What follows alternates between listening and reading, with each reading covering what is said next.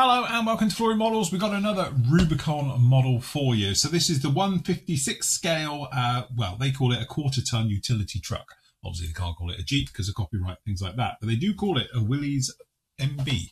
Anyway, we can see down on here another nice one as well. So you've got a couple of options with the guns that you can mount on this one, wire cutting options, tarp obviously options on this one as well. So straight round on the back, as you can see, so we can have it just normal Jeep, Obviously, we can have it over here with a sort of 50 on the top, and then obviously we've got the good guns, or we can have it with the rack top on it as well. So a little bit of information. We've got obviously some of the bits and pieces down on here. Kit number for this one is 280049. So if we just down in here, there we go lots of little bits just down in here in the box, which is nice. So get that back on. Okay, as always, we'll just start down in here with a little booklet. So we've got sprue callouts just down in here. We've got our decals.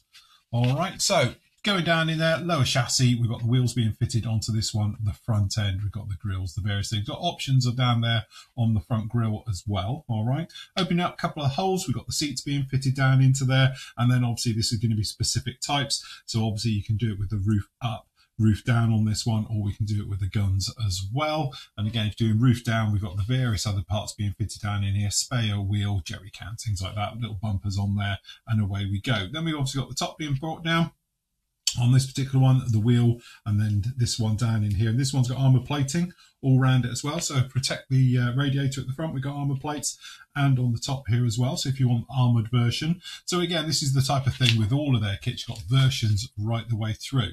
So again, finishing off the armored one with the bits and pieces down the back. Then we got one down in here with twins uh, guns up here, or obviously we've got the other ones as well, depending on which ones we want to do. Do get a full load of crew as well. So we've got full crew. Obviously, you can have him with a soft cap or with a helmet on down in here as well. We've got Thompson guns and uh, we've got normal rifles as well. So you've got a crew of four for carrying this little guy around.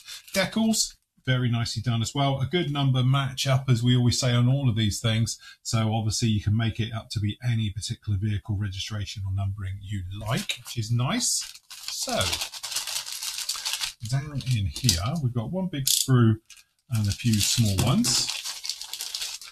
All right, so down in here, as you can see, we've got obviously the roof, nice details down on the underside of the vehicle and everything else like that. So we've got steering wheel, we've got the wheels, we've got the bits and pieces, as you can see, we've got the roof, we've got the guns being fitted down in here, so uh, all the different types of guns, as you might imagine, we've got the wheels, the tyres, underside of the chassis, one of the front ends as well.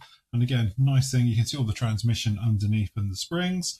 And then over here, obviously more different types of guns, whichever one you want fitted. And again, the other more standard Jeep front as well. All right, so that's that one. Then we've got lots of little baggies with this one, with all your different parts. So down in here, you've got a beautifully done little roof Again, nice details on that. So again, nice bit of weathering can be done on there because it's got all the stretched looks down in there just like that. Then we got the main body itself. So that's him done. Again, very nice. Everything that you need down in there. And we've got this little guy down here. So this is for your armoured one. So it's got the armoured panels on the sides. So again, very nice indeed. And some more of the guns. This has got more guns you can shake a stick at. Okay. And then over here we've got two-part roof system as well. So again, very nice. So we've got the open window on the back as well, all the various framing work for the inside. And again, no ejector pins on the insides of the actual lining and again, detail right the way underneath as on top as well. Very nice indeed. And then we've got down in here, we've got some of the crew. So we've got the figures. And again, nice movement in all of these. We've got the heads. So we've got some rifles, various bits. We've got a Thompson just down in here in the hand, one of the guys. Got a guy pointing as well, so that's quite nice. And then last up down in here, we've got the more of the figures. So you can see really nice detail on these.